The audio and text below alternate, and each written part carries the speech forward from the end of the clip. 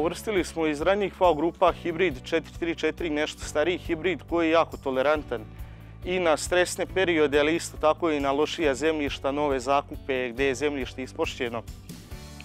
Ili ako radimo punu agrotehniku na dobrom zemljištu, onda ide hibrid 427 i 4007, najnoviji hibrid.